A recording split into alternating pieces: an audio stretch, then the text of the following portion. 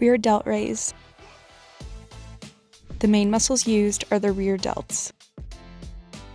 To perform this exercise correctly, begin standing with your feet hip width apart, holding a dumbbell in each hand. Push your hips back behind you and bend your knees as you lean your torso forward, maintaining a flat back. Maintain this hip position throughout the entire exercise. With your arms hanging straight down and your palms facing each other, lift the dumbbells up and out to the sides until your upper arms are parallel to the ground. Pause briefly at the top of the movement, contracting your rear delts. Slowly lower the dumbbells back down to starting position and repeat for the desired number of reps. Avoid using too heavy of weight. Avoid using momentum.